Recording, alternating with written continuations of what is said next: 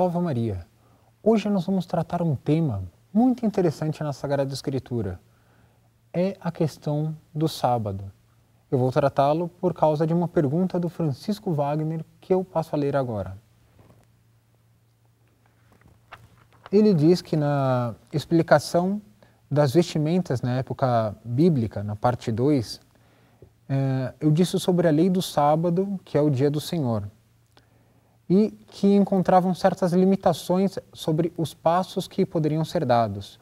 E a dúvida dele é: eles se alimentavam no sábado e quantos passos eles podiam dar no dia de sábado? Essas leis que eu me referi são as 613 regras do judaísmo. São leis que são tiradas da própria Torá, que é a lei, no Pentateuco, os cinco primeiros livros da Bíblia.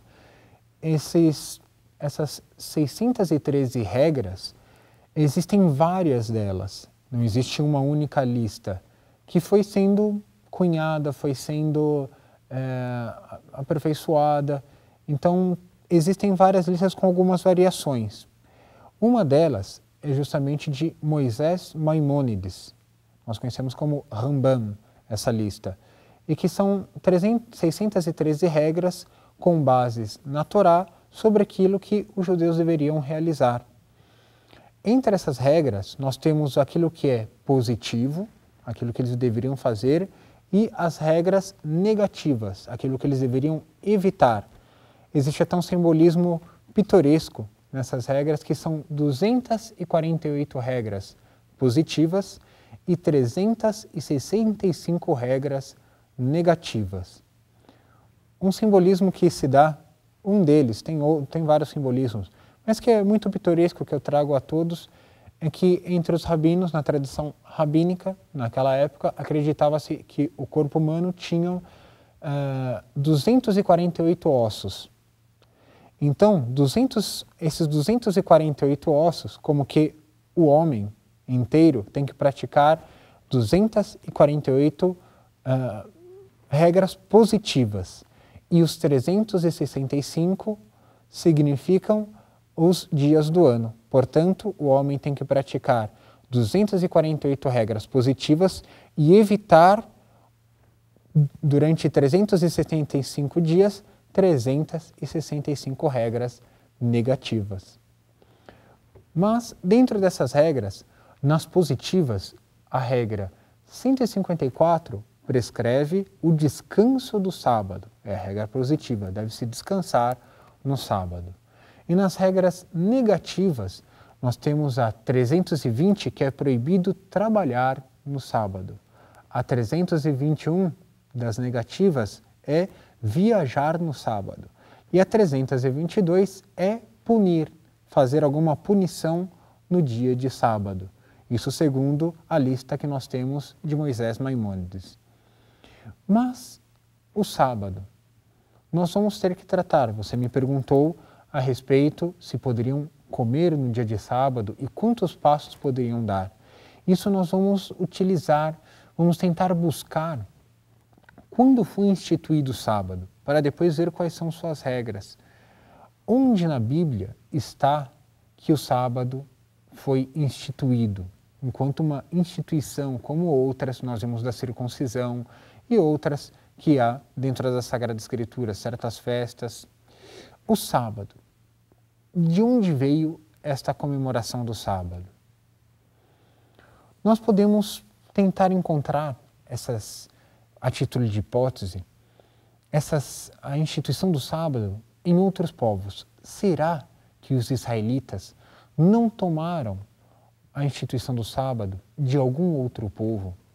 Nós sabemos, por exemplo, que o sábado, os números para os babilônios, babilônicos, os números 7, 14, 21, 28, eram números nefastos, eram números negativos, que traziam uma, uma conotação má para os babilônios.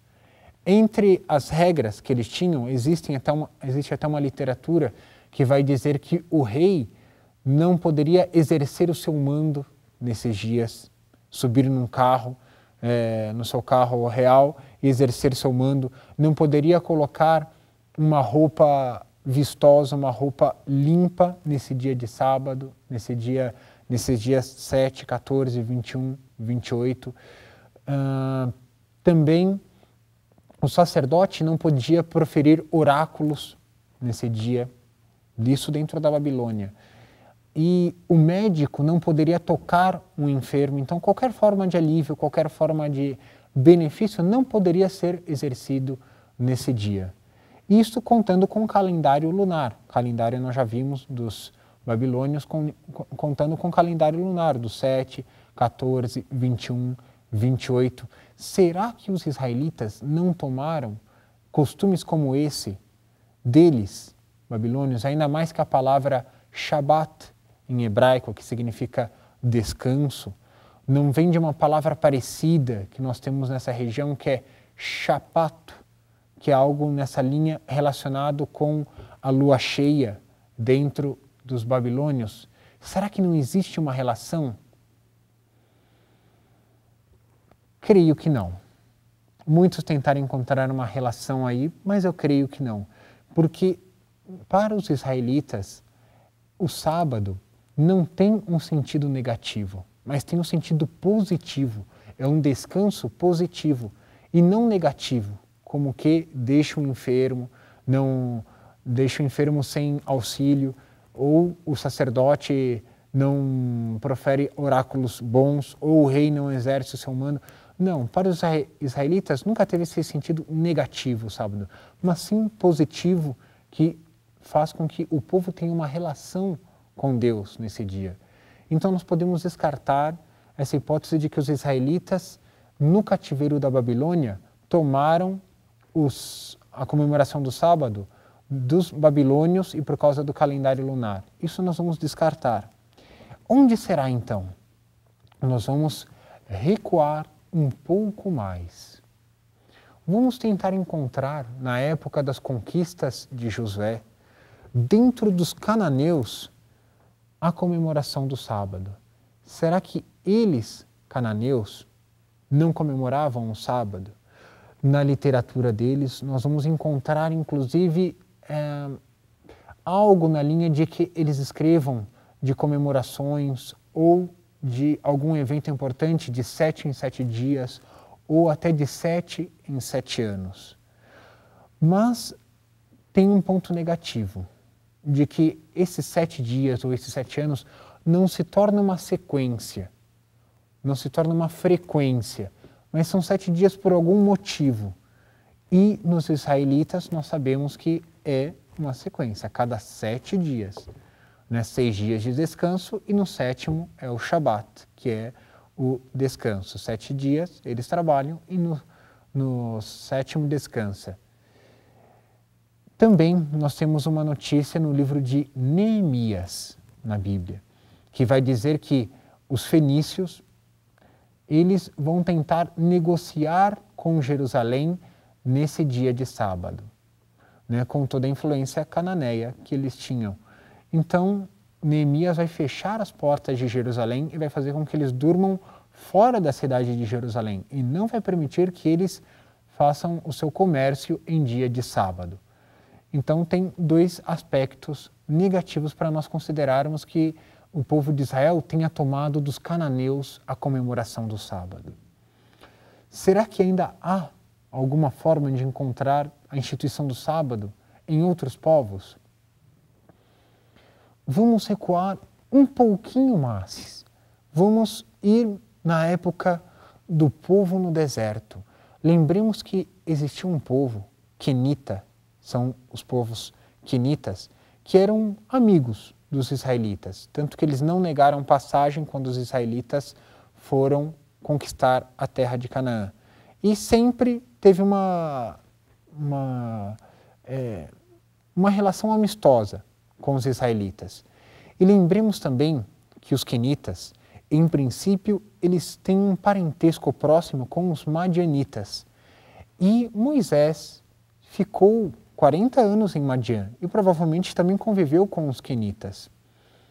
Quenitas também pode significar o nome deles, uma aproximação do nome deles com ferreiros ou forjadores. Eles provavelmente trabalharam em minas próximos do Monte Sinai. E nós vemos uma relação muito próxima com os israelitas. Será que eles não passaram essa devoção do sábado?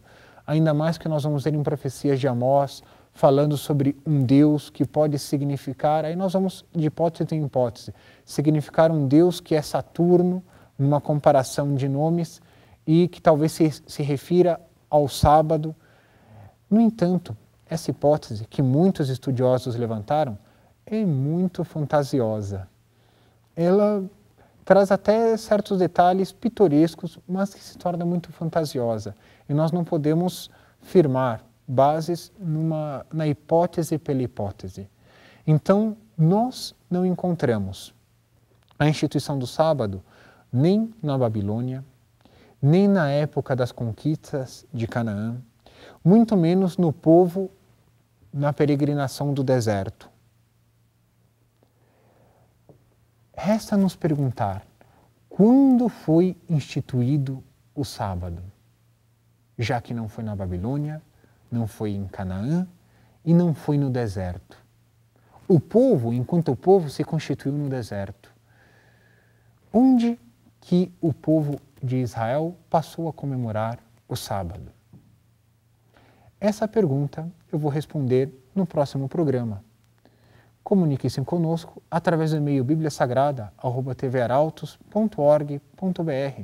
Comentem no Facebook, no Twitter e juntos vamos conhecendo cada, cada vez mais a palavra de Deus e, sobretudo, neste ponto, conhecendo a relação do povo de Israel com o sábado. Salve Maria!